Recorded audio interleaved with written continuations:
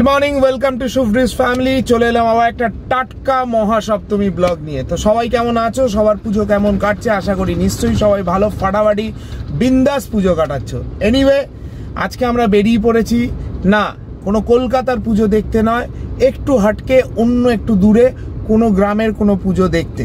তো চলো নিশ্চয়ই তোমাদের ভালো লাগবে। দেখো, গ্রামের পুজোয় হয়তো অত আলো নেই, অত মানে আলোকসজ্জা নেই, অত প্যান্ডেলের বাহার নেই, কোনো কিছু নেই, কিন্তু তার মধ্যে একটা মায়া মমতা, একটা সুন্দর একটা দরদি ব্যাপার আছে, তাই তো?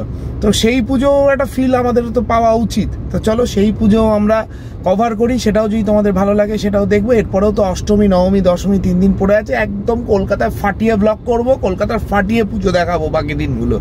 কিন্তু আজকে একটু অন্য কোথাও যাই। আর একটা কোথাও ভালো লাঞ্চ করার ইচ্ছা আছে, চলো সেটা কোথায় দেখি লাঞ্চ করতে। আর এই যে ম্যাডাম একদম সেজে গুজে ফাটাফাটি। তো শুভ Saptami welcome to our new vlog তো আশা করি তোমাদের সবার পুজো ফাটাফাটি কাটছে। নিশ্চয়ই সবাই নিজে নিজে ছবি আপলোড করো, সবার সবাই তো আর প্রোফাইলে নেই। যাই হোক সবাই কমেন্ট করো আমাদের ব্লগগুলো কেমন লাগছে আর পুজোর ব্লগগুলো দেখো। ওকে চলো। আর এই আমাদের সাথে পিছনে চলে এসছে। সেই চেনামুখ। সেই চেনামুখ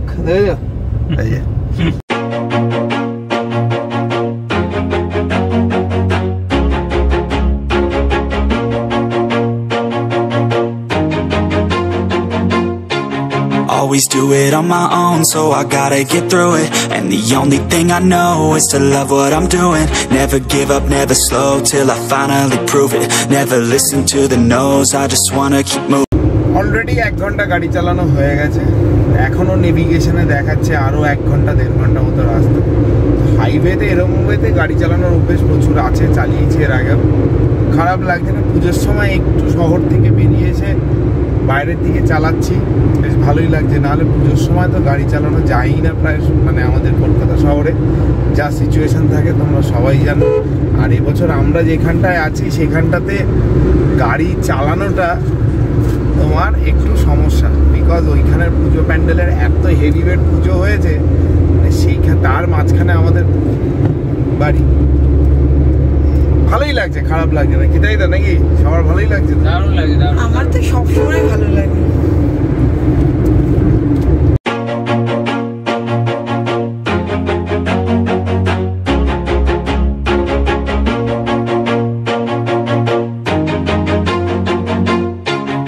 Always do it on my own, so I gotta get through it. And the only thing I know is to love what I'm doing. Never give up, never slow till I finally prove it. Never listen to the no.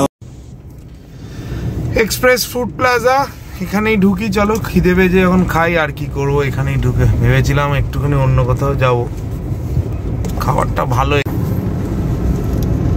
তো কোন এরিয়ায় গাড়ি park করতে পাঠাচ্ছে কে জানে ভাই একদম পুরো পেছন দিকে পাঠিয়ে দিয়েছে। পিছনে একটা সুন্দর মাঠ আছে ভালোই হলো এই মাঠের মধ্যে পার্কিং করতে দিয়েছে। তো চলো এখানটাতেই পার্কিংটা করে নিই ফুড প্লাজায় চলে এসেছি আমরা দুজনেই। বেশ জায়গাটা খুব সুন্দর আজকে ফার্স্ট টাইম এলাম ভালোই লাগল। তো যাই হোক মেনু আসুন হ্যাঁ দেবো। জায়গাটাও খুব সুন্দর চল তোমাদের একটা ক্যামেরাটা রোটেট করে দেখাই কেমন লাগে।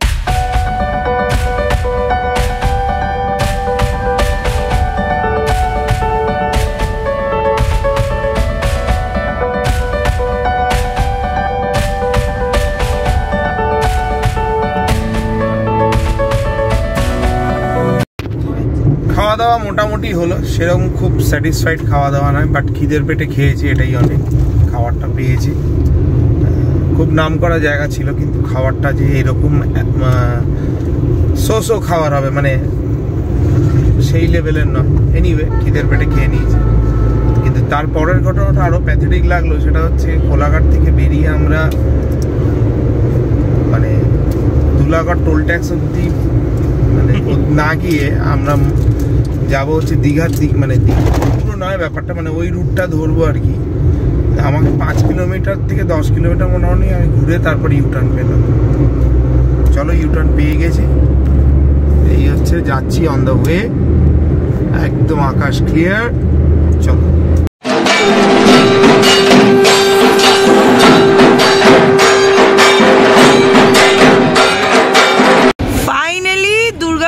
ফাইনালি দুর্গাপুজোর যে একটা সিম্বল সেটা হলো কাশফুল। সেটা দেখতে পেয়ে গেছি সেটার খোঁজ পেয়ে গেছি। না নেমে গাড়ি থেকে নামতে বাধ্য হলাম। কাশফুল যেখানে পেছনে সেখানে গাড়িতে বসে বসে হয় ব্লগ দেখো কিন্তু দুঃখের বিষয় জায়গাটা খুব একটা সেফ না যাওয়ার মতো যে ভেতরে ঢুকে কিছু করব। দেখো একদম see the place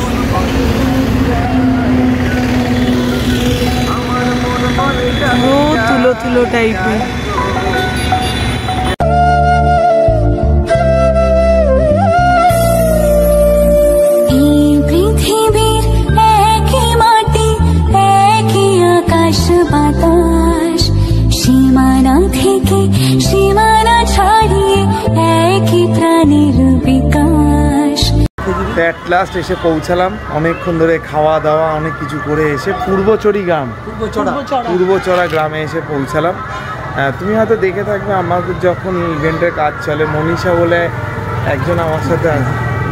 মনীষা বলে আমার সাথে একজনের আছে। ঠিক আছে ও আমার সাথে কাজ করে। ঠিক আছে তো ওদেরই গ্রামের বাড়ি মেদিনীপুরেরই পূর্বচড়া গ্রামে এসেছি। সত্যি এসে পরিবেশটা খুব ভালো লাগল। একদম গ্রাম্য পরিবেশ। খুব ঠান্ডা আর আমাদের মতো শহরে যেরকম সবসময় চারিদিকে গান গান গান মানে কি? একদম সবসময় একদম ফাটাফাটি গান এখানকার মতো করে পুজো হচ্ছে সবাই ভেতরে ঢুকতে পারছে ঠাকুরের কাছাকাছি যেতে পারছে এটা অনেক বড় ব্যাপার। আর অত যান ঝড় ঝামেলা এত কিছু নেই অত লাইন নেই। সাধারণ পুজো কিন্তু খুব ভালোভাবে খুব ওর। ইনভিটেশনে আজকে আমরা এসেছি তো তোমরা চলো ওকে একবার দেখে না ভীষণ মিষ্টি পুচকি একটা মেয়ে। আমি তো এসেই বলছি মা ওকে ছোট। এই হচ্ছে দুর্গা প্রতিমা ঠাকুর। খুব সুন্দর একদম গ্রাম্য পরিবেশ একদম গ্রাম্য পরিবেশের পুজো। খুব ভালো লাগল। এই চারিদিকে দেখো। আপনি যদি একটু বলেন ব্যাপারে কত বছরের পুজো? তারা মন্ত্র উৎসবের অঙ্গনে আজ সবার কাকু এটা ক বছরের পুজো? এটা একুশ বছর চলছে। একুশ বছর চলছে কুড়ি বছর মানে 2000 সাল। দু হাজার সালে এই পুজোটা শুরু করেছিলেন। আপনি শুরু করেছিলেন? না বাবা তারা শুরু করেছে। শুরু করেছিলেন। সেটাই এখন চলছে।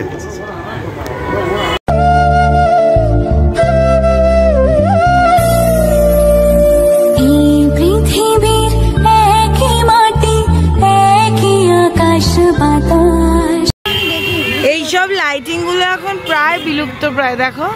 এখন দেখেছি। আর যার ইনভিটেশনে আমরা এসেছি এই যে। এটা হলো মনীষা। ও আমাদের ব্লগও দেখে রেগুলারলি একদম সব ব্লগগুলো দেখি আর দারুণ থাকে ব্লগ দেখি আর তোমরাও সবাই দেখো। থ্যাংক ইউ সত্যি এখানে এসছি গ্রামের পুজো পুরো গ্রামের মতো পরিবেশ। হয়তো সেই আবারও বলছি সেই আলোকসজ্জা সেই লেভেলের প্যান্ডেল অত কিছু নেই। বাট একটা মায়া মমতা জড়িয়ে আছে। তো সামনেই যাচ্ছে আরেকটা অনেক পুরনো পুজো সেটা দেখতে। চলো তোমাদের সাথে শেয়ার করি।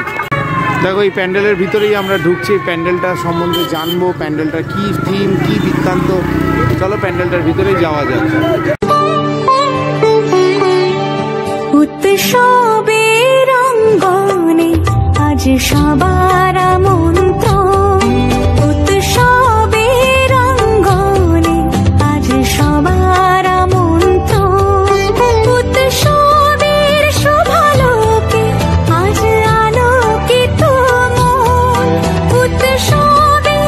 আজকালকার দিনে এই ধরনের ডেকোরেটরের কাপড় প্রায় পাওয়াই যায় না বিভিন্ন আমাদের। মানে এই ধরনের ডিজাইন করে পুজো প্যান্ডেল সত্যি এখন এখানে এসে মানে এইসব গ্রামের সাইডে এলে পরে দেখা যায়।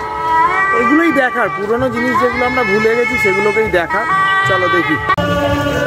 কুলঠা সার্বজনীন দুর্গা উৎসব কমিটি।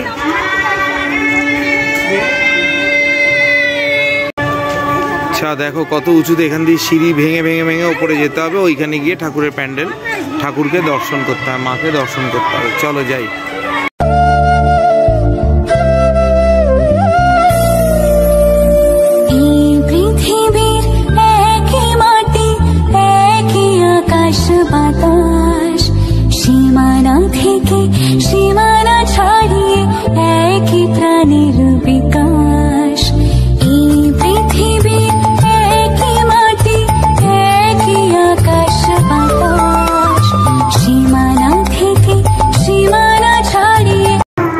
নিচে সিঁড়ি দিয়ে উঠে আসতে হবে। বেশ ভালোই লাগল। তাই না? মানে পুজোটা এখানে বাকিটা এর আগের ঠাকুরটা দেখলাম পূর্ব চড়া। এবার চলে এসেছি কুল ঠাকুর তো এই ঠাকুরের সম্বন্ধে একটু জেনে নিই আমরা। চলো আপনার নামটা? আমার নাম দুলাল মহাপাত্র। বুড়াল মহাপাত্র। তো আপনি একটু পুজো সম্বন্ধে যদি কিছু বলেন আপনারা খুব ভালো হয় আর কি। পুজো আমাদের এটা পঁচাত্তর বছরে পদার্পণ উনিশশো সাতচল্লিশ সালে প্রতিষ্ঠা হয়েছিল। প্রথমে তো মাটির ঘরটা ছিল তারপরে তাল পাতা ছাউনি ছিল। আলাদা ছাউনি ছিল। তারপরে ইটের দেওয়াল এবং টালির বাড়ি হয়েছিল। তারপরে আমরা এই মন্দিরটা করেছি। করতে করতে আজকে পঁচাত্তর বছরে চলে হ্যাঁ। কেমন লাগছে যে এত- দূর যে এলেন এগিয়ে এলেন কেমন লাগছে? ভালোই লাগে নানান সমস্যার মধ্য দিয়ে মোটামুটি আমাদের সহযোগিতা এবং আমাদের পাশে পূর্বচড়া আছে তো আমাদের মানে উৎসবের প্রাণ। তাদেরই সহযোগিতা মোটামুটি এত দূর মা চেয়েছেন হয়ে গেছে। পাশাপাশি গ্রামের সাত আটটা গ্রাম হচ্ছে আমাদের সাহায্য আমরা কালেকশনে সাহায্য পাই ঠিক আছে। ধন্যবাদ। দেখো এখানে সুন্দর মেলাও বসেছে। এখানে একটা পুরো প্যান্ডেল করা হয়েছে, সমস্ত কিছু। ঠিক আছে, যাতে এখান থেকে বসতে পারে তারা। এখানে পুরো সেই যেরকম মেলা বসে দুর্গাপুজোর সময়, সেরকম মেলা হয়েছে।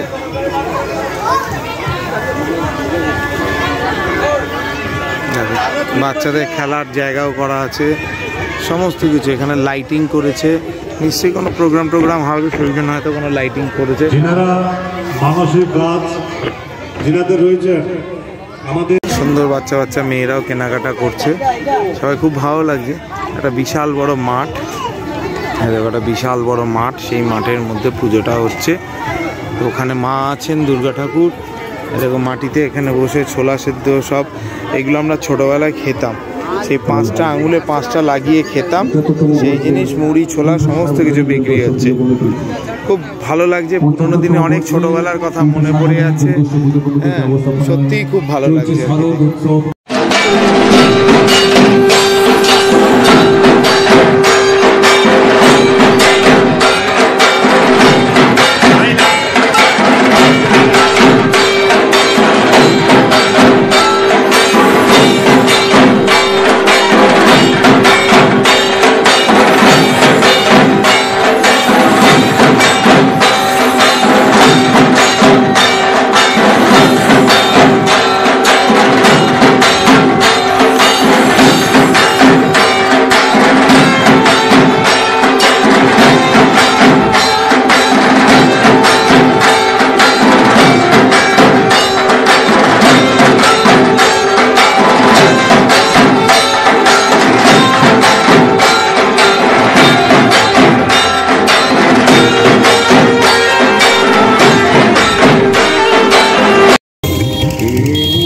একদম চারিদিকের পরিবেশ, একদম গ্রাম্য পরিবেশ, তারই মধ্যে এই সব পুজো উঠে, তৈরি হয়।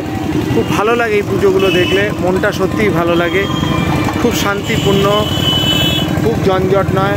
মানুষ হেঁটে চলে, আজকের থেকে দশ বছর, পনেরো বছর, কুড়ি বছর আগে আমরা যেগুলো শহরতলিতে যেভাবে হেঁটে চলাফেরা করতাম, ঠিক সেইভাবেই এখানে মানুষ দাদুর সাথে ঠাকুর দেখতে বেরিয়েছে। এরকম আর কি, বিভিন্ন এই জিনিসগুলো দেখলে খুব ভালো লাগে আর কি।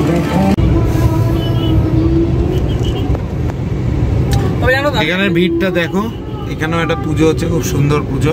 আমরা এখান থেকে ডান দিক নেব এটা ঠিক কন্টায়ের আগের মোড়টা। এখন বাজে হচ্ছে সাতটা দশ ওরা বলল আড়াই ঘণ্টার মধ্যে নাকি পৌঁছে যাবে কিন্তু আসার সময় আমাদের সময় লাগল মোটামুটি চার ঘণ্টার কাছে। তো অবশ্য তখন খেতে দাঁড়িয়েছি খেয়েছি দিয়েছি এত কিছু করেছি জায়গাটা চিনতাম না সবসময় ফেরার সময় টাইমটা কম লাগে। কম লাগে। এই হচ্ছে এখানে একটা বেশ সুন্দর জিনিস দেখতে পাচ্ছি। পুরো ওই চোং ফোং লাগিয়ে ব্যান্ড দেখো ব্যান্ড ফ্যান তাসা, আর কি সিস্টেম করে দিয়েছে বেশ ভালো। এইগুলো না এইগুলোই হচ্ছে গ্রামের স্পেশালিটি মানে একটু গ্রাম বলব না ঠিক? মানে আউটস্কার্টের স্পেশালিটি আরেকটা জিনিস হলো আগে যেরকম আমরা ঠাকুর দেখতাম না মাস্ক না পরে হ্যাঁ। সেই ঠাকুরটা হ্যাঁ। আবার দেখতে পেলাম। মানে এখানে কোভিড এর হয়তো অতটা প্রকোপ নেই তাও মাস্ক পরা উচিত। সেফটি থাকা ভালো। ঢুকতে দিচ্ছে না মাস্ক।